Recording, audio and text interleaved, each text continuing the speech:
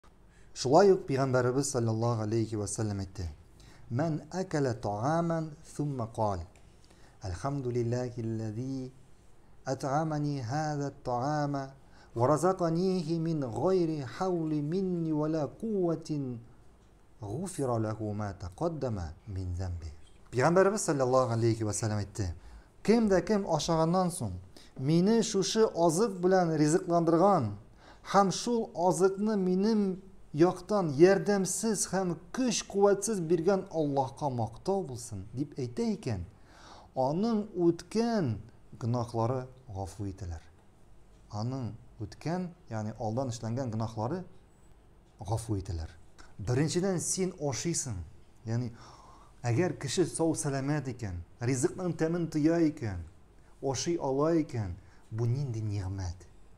Гомумән, ризыкны ашау, аның тәмен тату, ләззәтләнү бу ризыкның бу бит нинди нигъмәт Аллаһтан.